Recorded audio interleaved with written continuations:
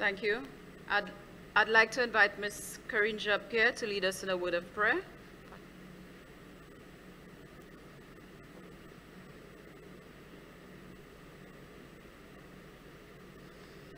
Reverence ourselves. Blessed Master Divine, we come before you this morning returning thanks unto you for your strength and health and the ability to be here today. We ask that you embrace us and give us the divine intervention as we come together for this conference so that we may do all necessary for the betterment of our region. We thank you in the name of your Son, Jesus Christ. Amen.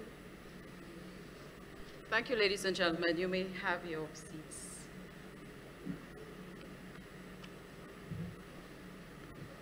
Good morning, one and all. Let me first of all apologize for the late start. My name is Juliana Alfred, and I am the Permanent Secretary in the AG's Chambers, and I will be your Mistress of Ceremonies for the first part of this meeting. I want to begin this morning by recognizing the Honorable Prime Minister, the Honorable Allen Chastanet, Prime Minister of St. Lucia. I want to also recognize members of the Cabinet who are present with us today. Senator, the Honorable Hermangild Francis, Minister for Home Affairs, Justice and National Security. I also want to recognize the Honorable Attorney General, who is also with us today. I also would like to recognize as well the Deputy Director, Mr. the Deputy Director of the World Intellectual Property, Mr. Mario Matus, Ministers with responsibility for intellectual property of CARICOM member states, members of the Diplomatic Corps, permanent secretaries from the region and maybe St. Lucia, distinguished representatives of the Caribbean community, distinguished representatives of the OECS, Organization of Eastern Caribbean States, head of the Caribbean section of the World Intellectual Property Organization, Regional Bureau of Latin America and the Caribbean, Ms. Carolyn Simpson, Senior Admi Administrative Assistant, World Intellectual Property, Ms. Veronica Villa, heads of intellectual property offices of the region, members of the WIPO Ministerial Planning Committee, staff of other government departments and chambers, other specially invited guests, representatives of the media, ladies and gentlemen, good morning again. It is indeed a pleasure to welcome you to this opening ceremony and before we get into any formalities, as we did yesterday at Government House and as we did on Tuesday, I think it was, we want to ensure that you get an experience which represents the culture of St. Lucia. After all, you are here speaking of the preservation and protection of expressions of folklore, other traditional expressions, it's all about intellectual property. And so we wanted to ensure that you got a taste of St. Lucia. So today, we've diversified a bit. We gave you dance earlier in the week. So today, we're going to give you one of our local bands, very popular, Mamai Lakai. I hand over to you guys.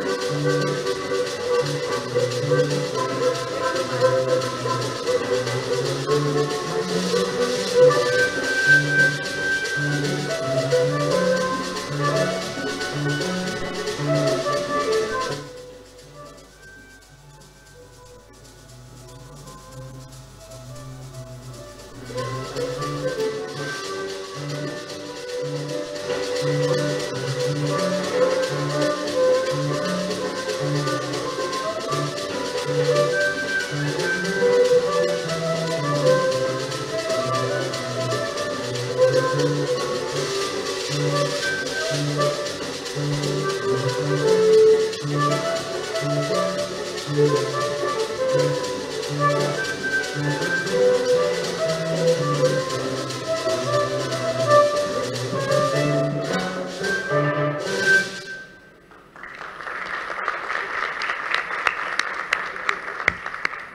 you very much, Mama Lakai.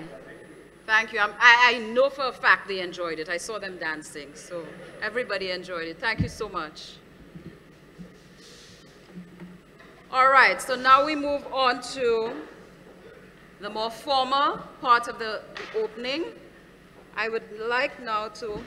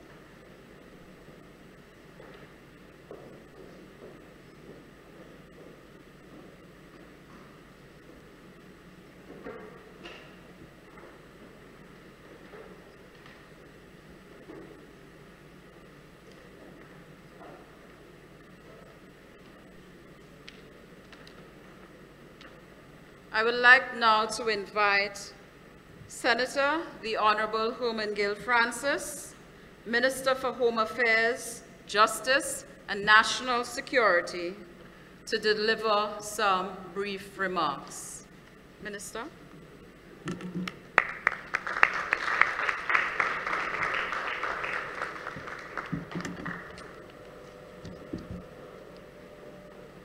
Thank you very much, Mistress of Ceremonies. Are you hearing me?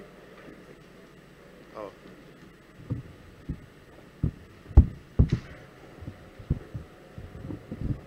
Good morning to all. Deputy Director of the World Intellectual Property Organization, Mr. Mario Matus. Ministers with responsibility for intellectual property, Head of the Caribbean section of the World Intellectual Property Organization, Regional Bureau of Latin America and the Caribbean Development Sector, Ms. Carol Simpson, Senior Administrative Assistant, World Intellectual Property Organization, Ms. Veronica Villa, distinguished representatives of the Caribbean Community, CARICOM, distinguished representatives of the Organization of the Eastern Caribbean States, OECS, the, the Honorable Attorney General of St. Lucia, Honorable Stephen Julian, heads of intellectual property offices in the region, Professor James Conley, Clinical Professor of Technology at the Kellogg's University, Ms. Tenny Reese, Consultant on Intellectual Property for the Trademark Manual Project for the Caribbean region, Permanent Secretary, Attorney General's Chambers, Ms. Juliana Alfred, members WIPO Ministerial Planning Committee, invited guests. I want to make a special welcome to our, my Prime Minister, Honorable Alan Luisi. Um. Well, I, I think you're in, you're in good company. So thank you very much for coming, um, Honorable Minister. On behalf of the government and people of St. Lucia, it is an honor to welcome you to the shores of the Helen of the West Indies and to deliver the opening address at this momentous event in the history of our region. An event of this nature, um, stature sorry, showcases our region's academic achievements, our continued pursuits towards economic sustainability, and the spirit of cooperation which lies within the hearts of every Caribbean national. It is a reminder of the importance of collaboration in achieving our visions for our respective nations and the region as a whole. St. Lucia is pleased to provide the stage on which the region's most pressing intellectual property issues will be expounded on. With the profound support provided by the World Intellectual Property Organization, WIPO, the region has been able to provide its people with the intellectual property insight and the means to protect their intellectual property rights. All countries represented here today can no doubt attest to the contributions they have received from the World Intellectual Property Organization. As a region, we take this opportunity to convey to the Director General of the World Intellectual Property Organization, through his distinguished representative, Deputy Director Matus, our gratitude to the organization for the contribution made to our region, and moreover, to pledge our willingness to continue to work in tandem with WIPO to improve the existing IP rights structure and to expand, to expand the nature of IP protection across our nations. I also rise to express on behalf of my fellow ministers with responsibility for intellectual property our gratitude to the various heads of IP offices excuse me, present here today. We thank you for being the champions of IP within our jurisdictions. Your sacrifices of time and effort must be commended. So too must your ability to execute public education and outreach initiatives build capacity within your offices while balancing administrative duties and budget allocations. We wish to commend your contributions to intellectual property in the region and urge you to continue to build on the successes. Furthermore, I thank you for your participation in the preparatory meeting held on 24th and 25th July and for the resolutions which resulted from the meeting now laid before us today for our deliberation. We also wish to express our appreciation to CARICOM and to the Organization of the Eastern Caribbean States, OECS, for its contributions towards developing and harmonizing the IT, IP regime in the Caribbean. The efforts of CARICOM towards the establishment of a Caribbean patent administration system CPAS, are laudable.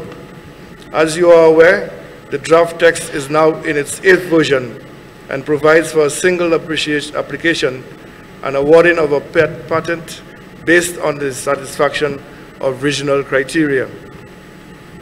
The benefits of CPAS were expounded by Mr. David Bradford at the WIPO ministerial level meeting held in 2015. Mr. Bradford explained that for the inventors, CPAS would mean a simpler and cheaper system with one set of official fees, one set of attorney fees, and a single bureaucracy to deal with for member states.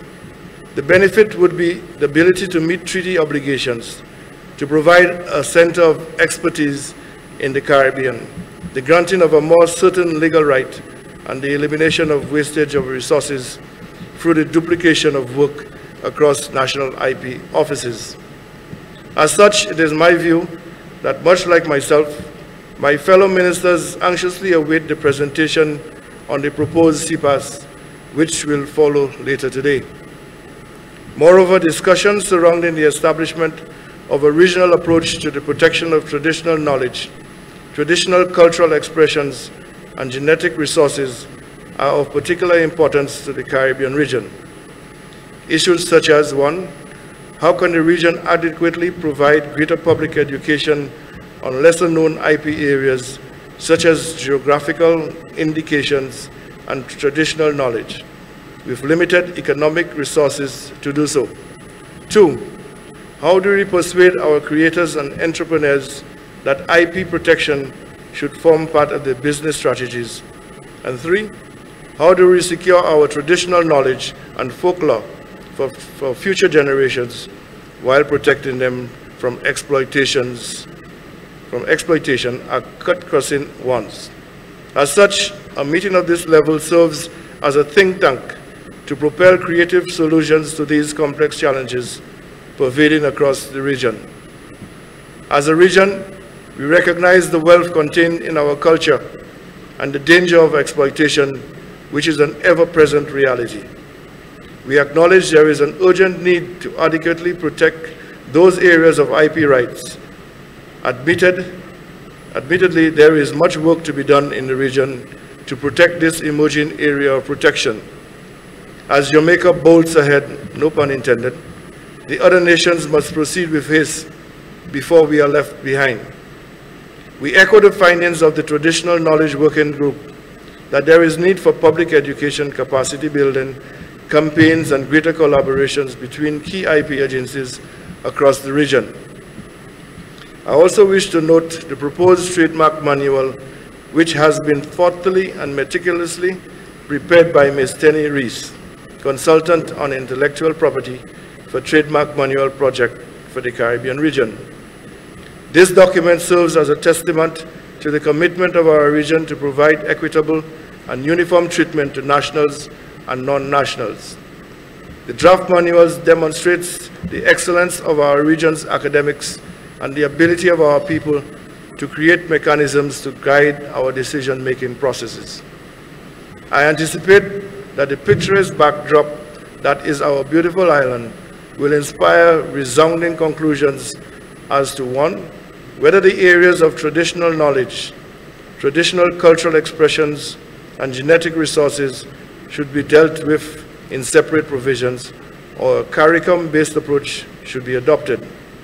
Lastly, having recognized the importance of cooperation between regional IP offices and the respective trade and export agencies in the countries in extending the reach of IP knowledge. We look forward to the presentation by the Caribbean Export Agencies, Agency. I am confident that all IP offices will walk away from the presentation with a renewed sense of purpose and ideas as to how they can incorporate their local trade and export agencies in their efforts to promote greater IP awareness. To my fellow ministers, our presence here is a testament to our commitment to advancing our nation's and the region's IP landscape to afford the greatest level of protection to our citizens. As we prepare to deliberate on the resolutions before us, I wish to leave you with our new marketing tagline. St. Lucia. Let her inspire you. Thank you.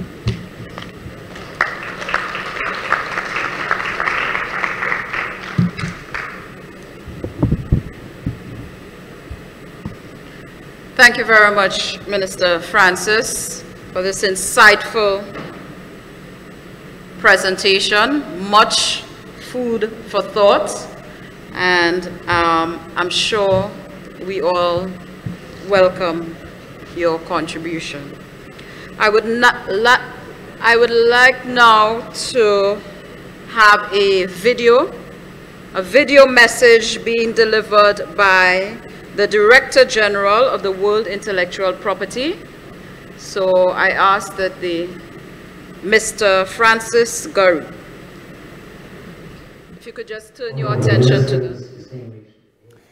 Honourable Ministers, distinguished heads of IP offices, the representatives of CARICOM and the OECS, thank you very much for this opportunity to say a few words uh, at the outset of your meeting, of your extremely important meeting. I'm delighted that my colleagues are present with you. I envy them very much. Mario Matus is there, Carol Simpson, amongst others. I envy them very much uh, to be in the beautiful St. Lucia, and I should like to extend my thanks at the outset to the Ministry of Home Affairs, Justice and National Security of St. Lucia, and to the Registry of Companies and Intellectual Property Rights of uh, St. Lucia. Uh, thank you very much for your kind hospitality and for agreeing to uh, host this meeting with which we are very proud to be associated.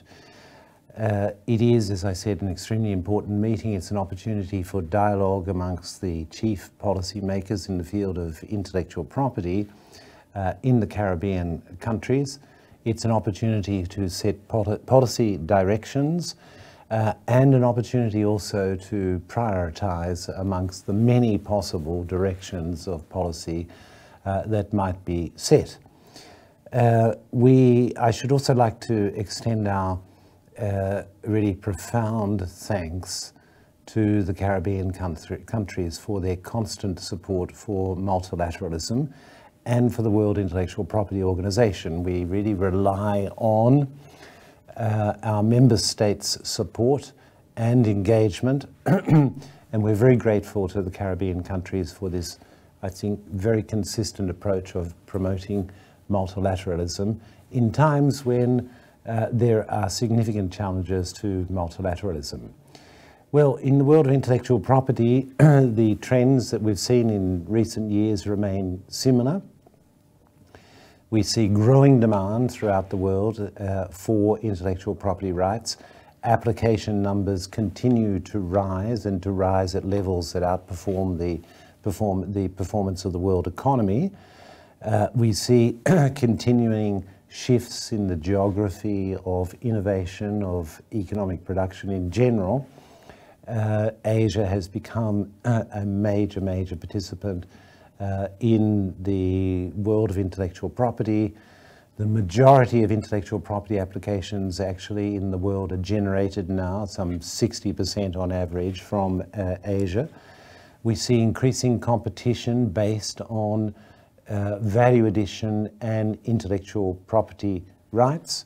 Uh, and we see uh, continuous disruption as a consequence of the introduction of new technologies. So these are all, I think, familiar trends to uh, you all uh, that we see, and they do have the effect of placing more and more importance on intellectual property as the mechanism by which the competitive advantage competitive advantage is secured um, and preserved uh, in very intense and changing international landscape for competition.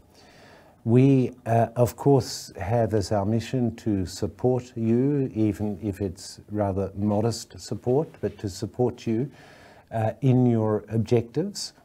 Um, and uh, my colleagues, of course, will be taking you through various of our services that you are, I think, already very familiar with, uh, and the ways in which we can provide assistance through our global systems, the Patent Cooperation Treaty, the Madrid system for trademarks, the Hague system for designs, the Arbitration and Mediation Centre, our normative agenda, which is which requires a lot of patience, but again, thanks to the Caribbean company uh, countries for uh, championing, champion, championing a number of initiatives, uh, notably uh, Jamaica's role and other Caribbean countries' role in promoting an international form of protection for country names, which is under discussion in our standing committee on uh, trademarks, um, for being actively involved in the area of agriculture and branding,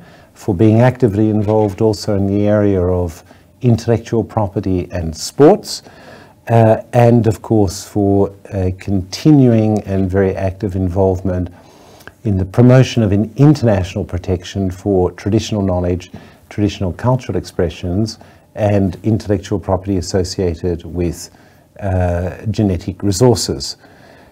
We also have, besides our normative agenda, which, as I said, is a long process um, where the progress is incremental and gradual, but nevertheless slowly coming in some of the areas that I mentioned. Uh, we also have, as you know, a number of platforms that facilitate cooperation between uh, the various IP offices, offices in the world and an extensive program on capacity building. So thank you for your active interest in all of these services and programs of the organization. Thank you for your support for the organization. We are there to serve you as best we can, even if we are very conscious that our contribution is a modest one. Uh, we rely on uh, countries like the Caribbean countries for their support for multilateralism. I wish you very uh, interesting and uh, rich deliberations and many good decisions coming out of your meeting. Thank you. Please convey our own gratitude, Mr. Matus, to the Director General of WIPO. I wish to now invite Mr. Mario Matus, who is the Deputy Director General, Development Sector of WIPO, to deliver some brief remarks.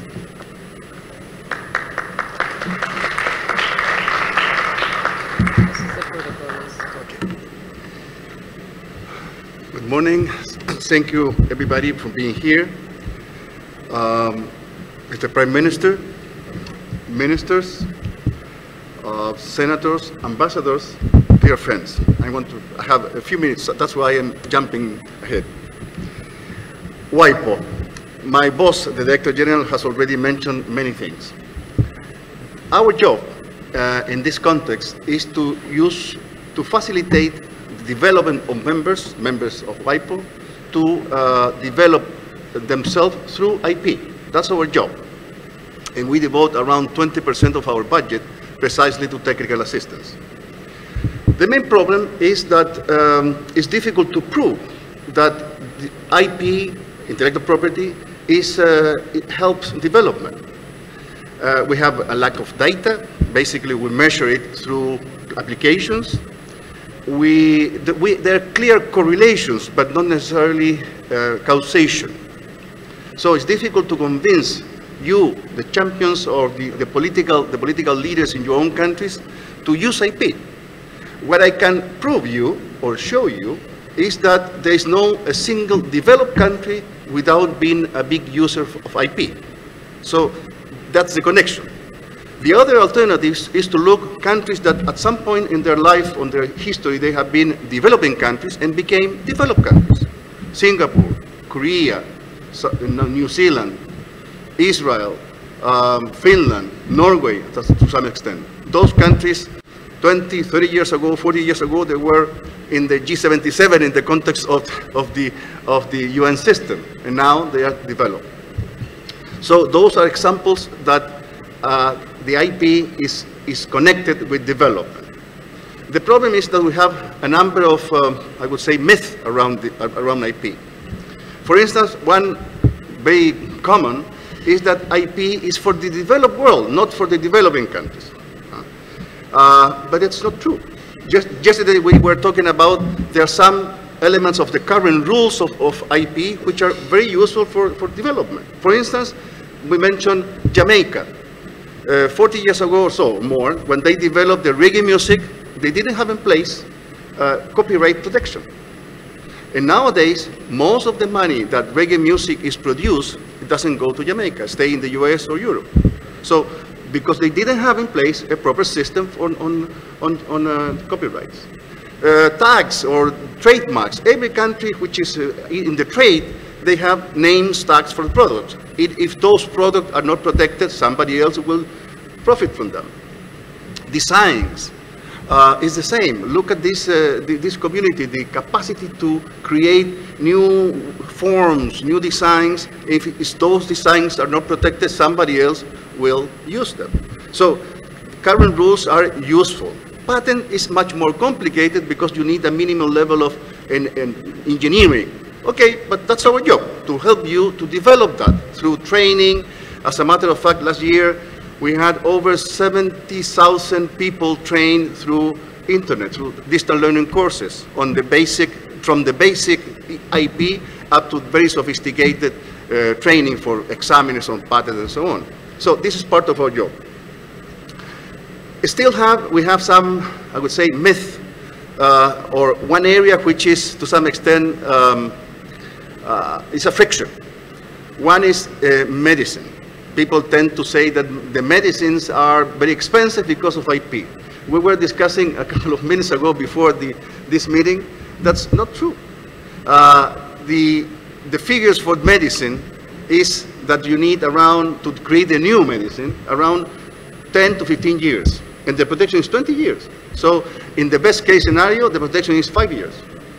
In the case of Cuba, we were discussing that the protection usually is only two years because they, well, I will not enter into, into specifics. And the cost of a new medicine is around $2 billion. So they have to recuperate that money in two, three, four, five years. So, uh, but still, still there is a perception that medicine is, uh, the medicine's price is, is, due, is due to IP.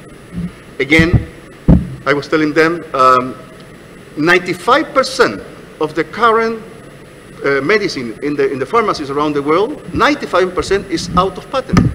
It's not protected. So what's the point? What's the connection with IP? No, it's marketing, it's a, it's a good promotion, uh, uh, trademarks, brands, but IP, very little. Anyhow, uh, the, the current situation in terms of the world IP, uh, Francis already mentioned, we have, and this is growing every single year, 3.2 million of patents, um, around 7 million of, uh, uh in the case of patent, 1.3 million are coming from China, 600,000 US. So the US is already half of China. And in China is a developing country.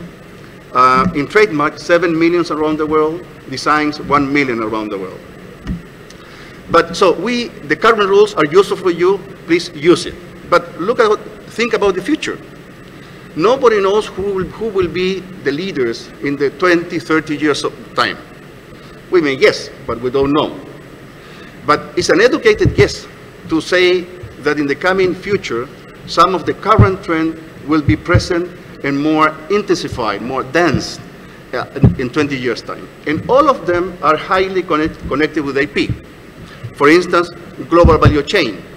If you would like to be a part of the global value chain to produce this part of the microphone, so you have to have at least two things. One, proper rules for investment to protect the investor and the investment, and proper rules to protect IP. Otherwise, the investor will not come to produce this part in this country because of the lack of uh, protection of IP.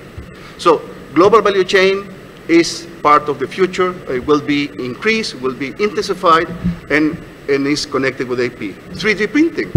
It's, it's uh, now uh, the five years, 10 years ago, the price of a printer was $18,000. Now it's 400 around the world, and probably going down and down and down. So in the coming future, almost everybody will be able to have it at home, a printer, a 3D printer. And then we will be able to print our stuff And if we, if we would like to use that creation, that design for our own benefit, well, I will, I will, the common, the layman will ask for protection.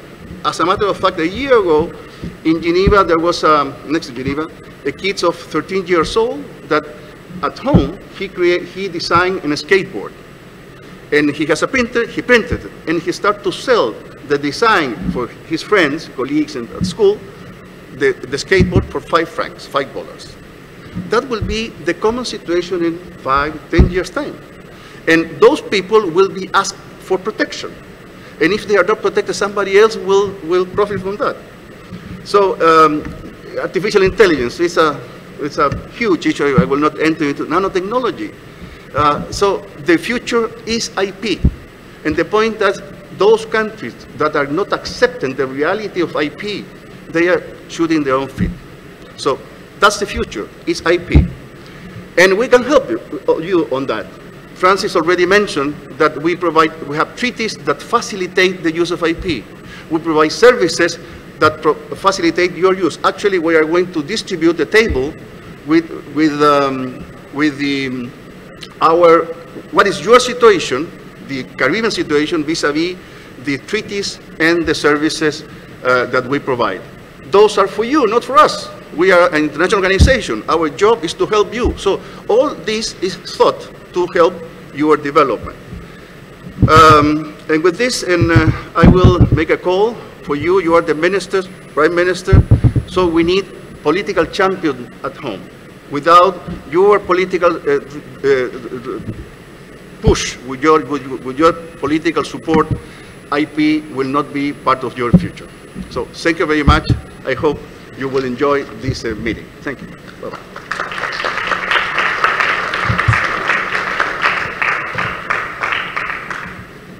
Thank you very much, Mr. Matus.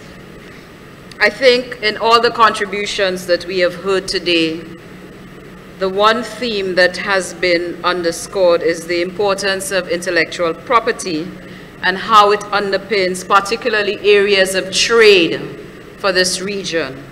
And so it is something that we have to continue to put at the front burner. And I think with the presence of the Prime Minister and the high delegation, you can see that St. Lucia has put it at the front burner, and we will continue to champion the cause of intellectual property rights. So this ends the formal, well, I shouldn't say formal, that's incorrect. I think you go into a more formal session. This ends the opening ceremony, and I would like now to extend some thanks, first and foremost to the Honorable Prime Minister, Allen Chastanet, for taking time to be with us this morning. He also was socializing with us last night at Government House. So that shows, of course, he's very committed to this process and we want to thank him for being here. I want to also thank the Honorable Minister Hermangild Francis for his presence and his delivery today, his commitment to the process.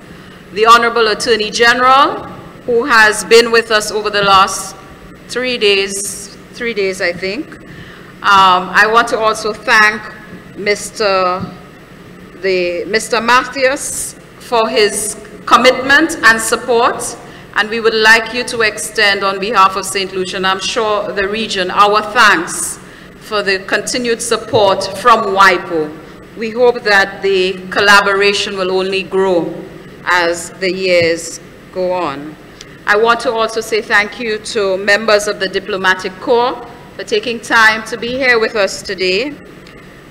The delegates who are here, the work is almost done or should I say the work has just started. Let me rephrase that.